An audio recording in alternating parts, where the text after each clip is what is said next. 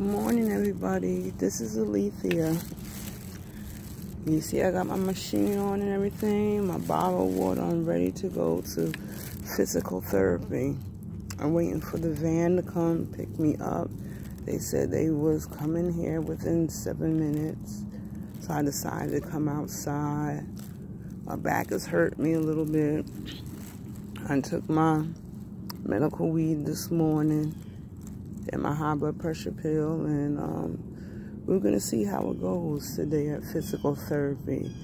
And I want to wish everybody a very happy Friday and a, a blessed weekend.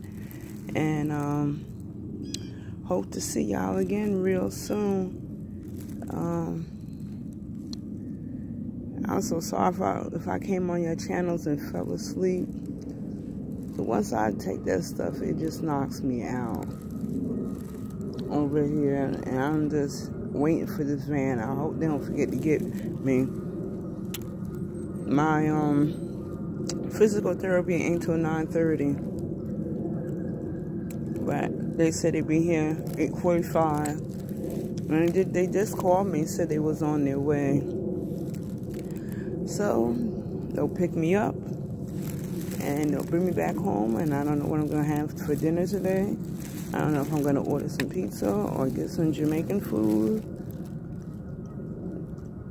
I might wind up getting Jamaican food. I'm not even sure. If not, I'm to order from Glacier's. They got some good pizza up here in Watchung. So like I said, everybody, it looks cloudy outside here.